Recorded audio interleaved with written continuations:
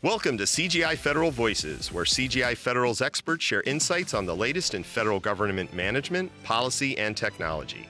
I'm your host, Pete Tseronis, coming to you from the CGI Federal Studios in Fairfax, Virginia.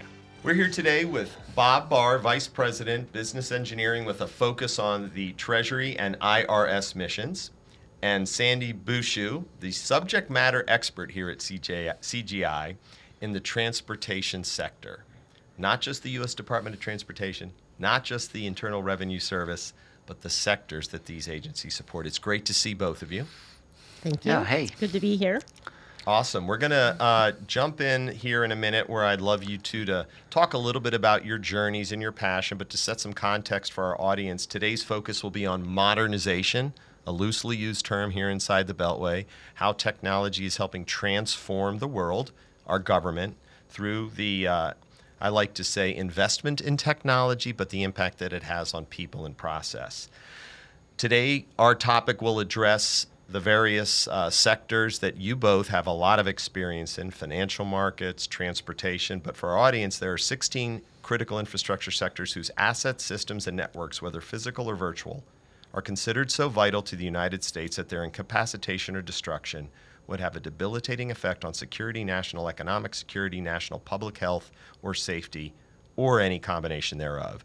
And that's me mm-hmm. bringing it home as a former executive that the purpose of government is to support the mission of our country and the people. So, Bob, uh, former IRS Assistant Commissioner, I'm not going to read the bios, uh, but Wharton School MBA, South Carolina uh, bachelor's degree. It's great to see you, and we want to hear a bit more about that. So why don't you uh, expound a bit on on your journey, and then we'll we'll talk to Sandy here. Well, thanks, Pete. Appreciate that. I've had a long and, and actually very fortunate career. Um, and, and sort of the, the, the, theme of it in many ways has been you know, financial services, both uh, on the government side and um, actually on the private sector side equally as well as you mentioned, um, sort of the pinnacle of government service was uh, with uh, the IRS as Assistant Commissioner of Electronic Tax Administration. But that was uh, sort of uh, the tail end, although I'm back as a result of my, uh, my joining CGI here a few years ago, was sort of the pinnacle of a, of a 12 year crusade for me that actually began in uh, South Carolina, um, alma mater, right? Gamecock, and um, it was with the South Carolina uh, Tax Commission, Department of Revenue. Um, and that's when I first ventured into modernizing tax, modernizing, um, you know, the, the, the, filing and payment of taxes. was at the state level. Uh, then went into the private sector, and I'll come back to that in a minute. But then I went into the private sector for several years uh, with um, uh, Intuit, company that you know produces TurboTax and uh, uh, worked diligently with the private sector to build infrastructure for the electronic filing and payment of taxes. Um, and then it sort of culminated when I joined the uh, federal government um, in the role that I just you know described. So it was a uh, it was a crusade. I earned the title over that period of time as the godfather of electronic filing and payment of taxes. Uh, so named because uh, some would say that I had to muscle a few people along the way. Uh, but as you know, today, um, uh, over 95% of uh, the individual income tax returns in this country are actually filed electronically. And uh, taxes are paid electronically, refunds come back quick. And so that was, that's been a, a, a thread for a good bit of my government service or, or service to the country, right? Um, and, and as you can tell, I'm, I'm really passionate about, about it. I couldn't uh, make, uh, uh, you know, um, I, I, couldn't change the tax law, but I could sure make it easier for people to comply, right? And that was the theme of, of my crusade over that, that, that period of time. So there's been a th- common theme around financial services for a good bit of it state government, federal government, and private sector. Uh, and so that's it's kind of the career side of it. Um, you know, I've got uh, I've raised uh, some kids along the way. Uh, picked up the banjo along the way. Uh, my personal plug: I'll have an album out sometime the end nice. of this year. uh, tweet that. Somebody yeah, tweet that. Blue, you know, bluegrass, um, um, and I wrote all the songs. So that's kind of a little bit, uh, I guess, about me from a a career perspective. And I'm excited to be uh, to be here at CGI. Um, you know, we ha- we we've reached a point sort of in our our growth, and we're a very substantial company, as as you quite know, where uh, we are uh, really engaging with senior leadership um, in the federal government and really appreciating challenges and opportunities, listening, mm. and um, and and uh, ideating around those uh, particular opportunities. I guess I can kind of cl- close by saying that you know. My role here at uh, CGI is twofold. One is, as you mentioned, with you know some focus on uh, the Treasury and IRS. Uh, the, uh, the, IRS uh, got a, a, significant tranche of money last year with IRA, you know, 22. And Congress has uh, expectations for leveraging that funding to modernize. And I know we'll, we'll come back and talk about uh, some of that um, um, a little bit later. So I'm excited to, to be back and to have, have quite a history. When I first sort of in, uh, entered the, the tax space was the late 80s. So that kind of puts a little bit of perspective. I've been around this space for a very long time. But the second part of my role here is uh, helping all of our um, um, sectors think through um, how do we really surface uh, the opportunities and the challenges that are, are, are facing our government agencies and ideate into uh, you know interesting, innovative, advanced, uh, both uh, uh along the technology dimension, but also along the experience that we render to our citizens. And what is it going to take, and what does it take to, uh, you know, to manage that kind of change? Um, hey, Sandy, uh, a little bit of bragging. I mean, 25 plat- years, you know, experience executing all kinds of this world that's post government of sales, marketing, procurement strategies. Uh, you know, former acting and deputy administrator for the Federal Transit Administration. I hope I got that right. We mentioned George Mason, Eureka Red Devil that you are in your undergrad. Uh, but I'm excited to hear about your journey, your crusade, if you will. So, um, yes, I am a Eureka College Red Devil. That's in Eureka, Illinois. It's a small farming community that has a college, and my father is a farmer, was a farmer, and um, from the central part of Illinois, the deep in the Midwest, and to Washington D.C. was tri- quite the leap for me. Um, I kept always thinking I wanted to go back to Illinois, but I always like to say I caught Potomac fever, and I have yet to find the antibiotic to cure me. So you would think, coming from a farm town with a farm background, that I would land up end up at the Department of Agriculture. But instead, I ended up at Department of Transportation. I've done a couple of tours at Department of Transportation. I worked on a congressional uh, committee uh, up on the Hill. I've worked for large corporations, small businesses. I had my own small business, all in transportation. So I think I have the real prism, if you will, of transportation, of looking at it from all sides from the federal side, from the state side, and the local side. So um, at the Department of Transportation, when I was the head of the Federal Transit Administration, um, that was just a really great job. Uh, basically, the FTA really gives out grant money essentially to cities, states. And it was a wonderful way to not only to see the country, but also to really benefit people. And I so enjoyed that. Building big projects, having big dreams, and to think that the Department of Transportation was a partner in that. It really was really something that really impacted me greatly. You know, when you think about technology and you think about transportation, they just really go hand in hand. As I'd like to say, when you think about big data and just you know data. You know one movement of a tire wheel is a data point. Mm-hmm.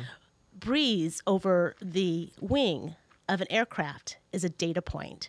Just think about all the data transportation collects. And CGI not only knows how to interpret that data, they know how to store it, they know how to keep it, they know how to protect it. They bring all sorts of solutions and services to that. So I think transportation and, CT, and CGI is just a really natural fit. It's interesting you mentioned uh, the, the vehicles. Look, folks, bipartisan infrastructure law, CHIPS and Science Act, the Inflation Reduction Act, the money's there The money is going to solve mission problems that, that we'll hit on a couple today. But when I think of transportation, uh, Sandy, uh, aviation, highway and motor carriers, mar- maritime transportation, mass transit, pipeline. I'm just reading the, uh, as it's defined, are the seven key subsectors in your agency uh, postal and shipping and freight rail. The bipartisan infrastructure law is funding a lot of activity in that space planes, trains, automobiles, data points. Uh, cars are networks on wheels now. Financial systems have been leading the way when their cybersecurity systems, you know, were hackable back in the day. Now they have a lot of the uh, at least I feel and believe and watch, you know, with my colleagues on, on the street and in Silicon Valley, that the financial market's really pioneering how to secure systems and data, and we'll get into some of that. So thank you for sampling uh, or providing a few samples of, of your sector and, and who you are. So let's let's move into that. Uh, the the agency coming back coming back to you, Bob, um, at IRS, maybe put on that old hat. You know, what are some of those uh, technology challenges and opportunities that you saw that that are still here today, but it is modernizing, right? There's no silver bullet. So maybe talk a little bit about some of the initiatives that you led then, and and you're helping, you know, Sherpa, the folks that you uh, are mentoring there now, uh, you know, make this world a better place. Yeah, sure. Thanks. You know, the interesting thing when you look at, let's say, more narrowly, the IRS, mm-hmm. you know, its its mission is basically to collect the proper amount of tax, right? Not a dollar more, not a dollar less. But that collection process, you know, is what funds our government, right? We as uh, American citizens, sort of the, the, the, right to, to live, you know, the rent we pay is in taxes, right? And uh, this particular agency um, executes the law created by Congress. That's always an important distinction because IRS doesn't make the law; it executes and administers the law that uh, that Congress passes as our you know duly elected representatives. Um, but it is an important mission, uh, collecting the, the, the proper amount of uh, funding to you know to underwrite the balance uh, or to pay you know for all of the uh, the services that the government's expected to deliver. It could be you know transportation services, social services, uh, defense. You know, so so it sits in a very very important spot, uh, and uh, you know, uh, in that regard, if if it's unable to, or if it doesn't modernize and and doesn't keep pace. Uh, then you know we have got a collections issue.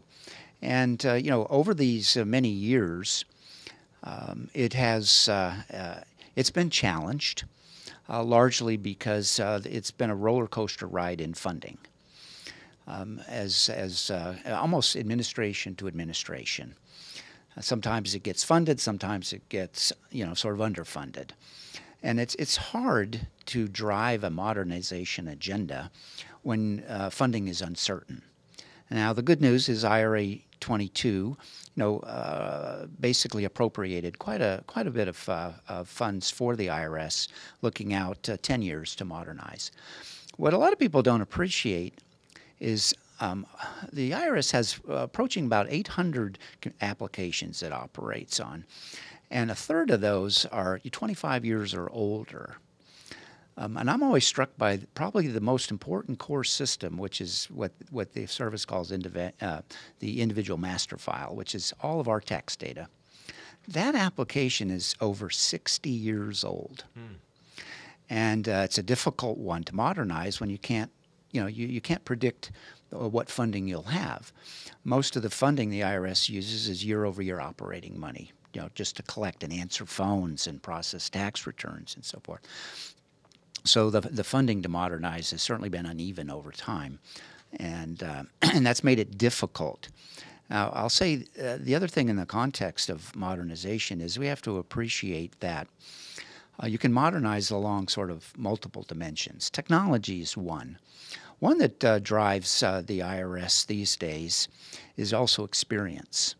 So, if you look at the strategic operating plan that was recently released by the IRS, and, uh, and in fact, even yesterday, one of the federal advisory committees with, uh, within the IRS, sponsored under the Federal Advisory Committee Act, it's called ETAC, the Electronic Tax Administration, um, or the Electronic Tax Administration Advisory Committee, uh, put forward a number of recommendations as it does every year, and and this uh, group uh, does report to uh, to Congress.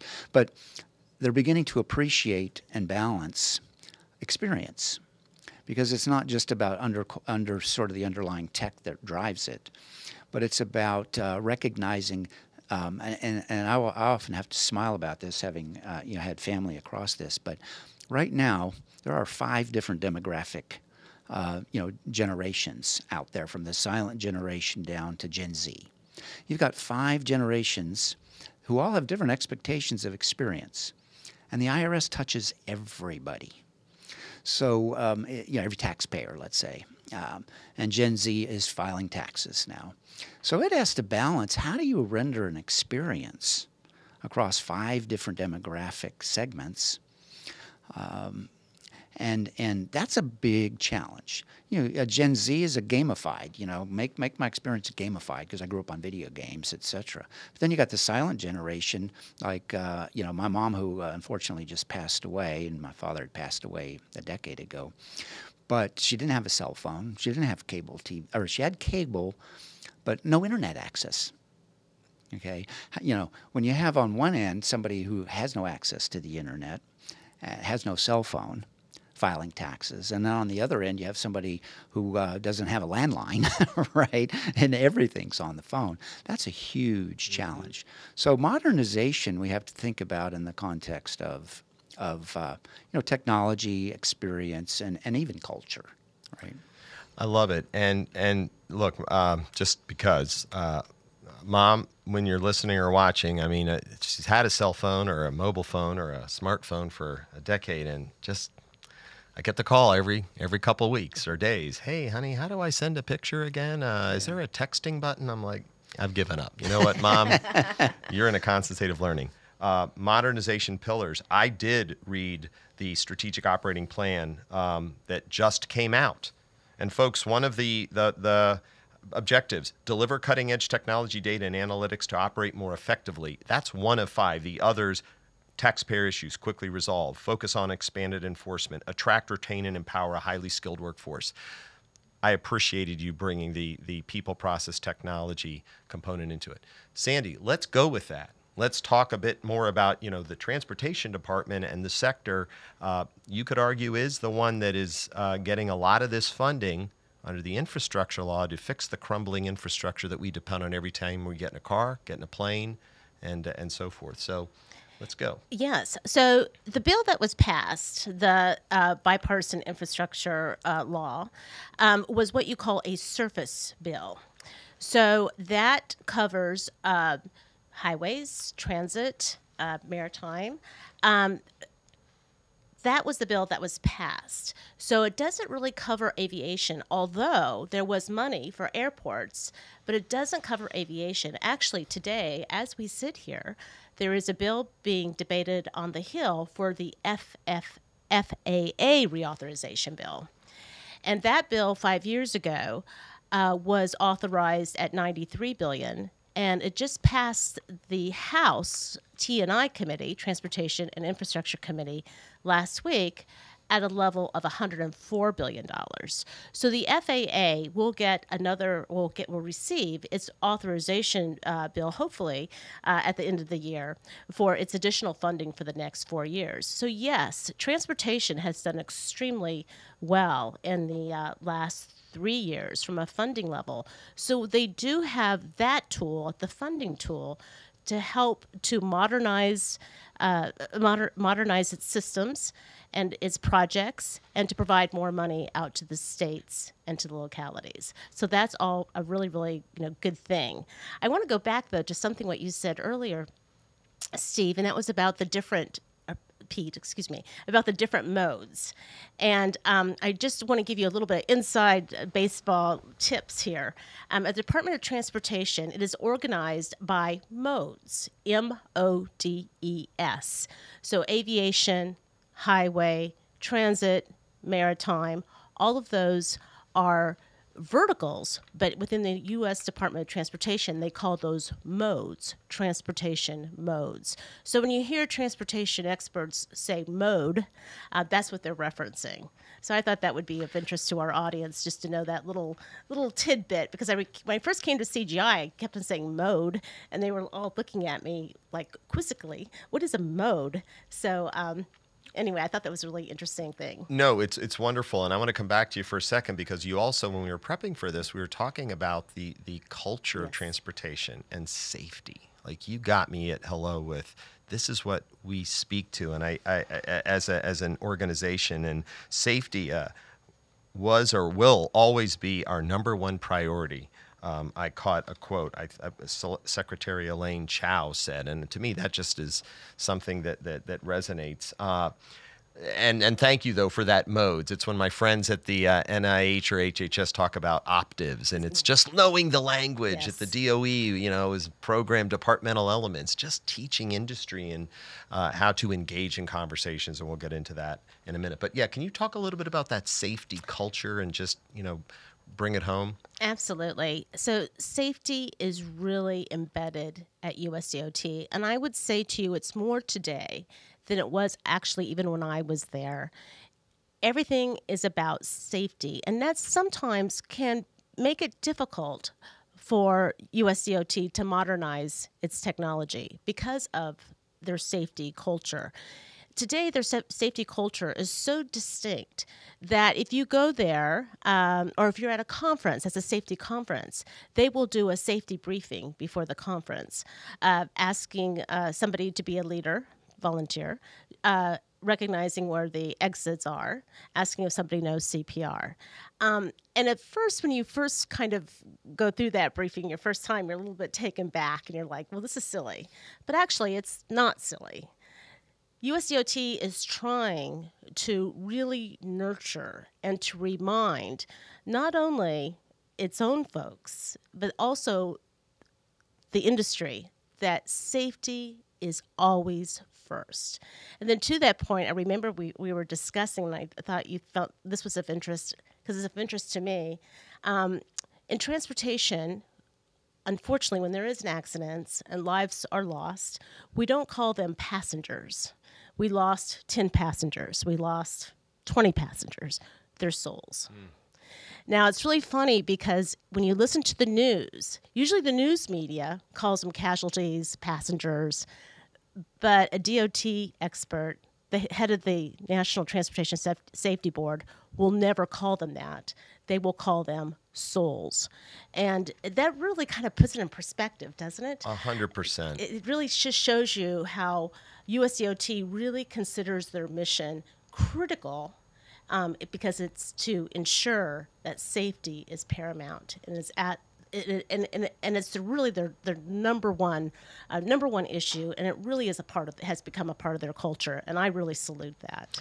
I, I will say as as we close this segment out and we jump into a little bit of the open government component, I want to thank you both for and again being a former uh, federal executive who grew up as a GS7 uh, the mission of government is unique and, and culture is critical. And CGI, uh, clearly, by recruiting and, and, and, and having the opportunity to have you as part of its team, taking that message back to the very agencies that they want to help support is spot on. And anybody listening to this, mission is a loosely used term, modernization, a loosely, loosely used term, people, process, technology. Some people say a cliche. You all, I hope, and everybody heard, uh, I appreciate that, uh, that, that that is the mission. And government has a role and industry has a role. So thank you. CGI Federal Voices is a production of CGI Federal, a wholly owned subsidiary of CGI Incorporated. You can find CGI Federal Voices on your preferred podcast platform or watch the video version on YouTube. Subscribe or follow and spread the word to your colleagues. Learn more about CGI Federal's solutions and services at cgifederal.com insights you can act on.